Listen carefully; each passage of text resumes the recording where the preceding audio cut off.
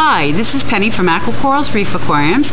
This mini video is featuring a blue hippo tang, otherwise known in the movie Finding Nemo, Dory. This beautiful little specimen is approximately three and a half to four inches long, and as you can see has perfect coloration, not a spot on her, and fat belly, which means she's been eating like a pig. Uh, as you can see though, she's being a little shy. Uh, with me in front of the tank, but otherwise she's all about the tank, uh, just like tangs usually are.